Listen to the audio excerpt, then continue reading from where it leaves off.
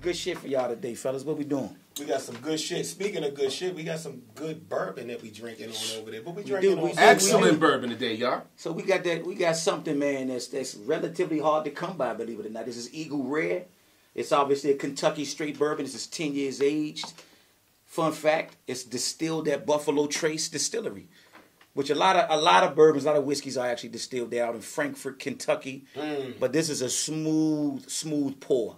You are the you are the fucking Einstein of bourbon. Like we bourbon guys, but you, this guy is the Einstein of bourbon. I'm a big fan of this one. This is a Listen to my guy, a please. one. Cause, cause- it's a and we got the uh, hold up. look, On that note, we got you made me think Kentucky Derby. We just we just had the Kentucky Derby. Yes, Yeah, yeah. yes. Which it would have been amazing if we would have gone to that. We got to go next year. Um, we want to shout out to the DMV uh, once again to all our supporters, for everybody that's came out to a, a function of ours, for the people that subscribed and tapped in and tuned in.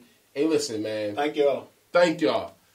You know, numbers mean something, but numbers don't mean nothing unless it's the people who really love you and love what you're doing, appreciate what you're doing, and keep pushing you to do what you're doing. Man, yo, shout out to you boys again because y'all y'all motherfuckers keep me. matter how you exit from the start. The only thing certain is the end. Promise to all and none, no doubt when heartbreak from yesterday and fret for tomorrow. I leave you now filled with anxiety and hollow if you pray. Don't worry if you worry, don't pray.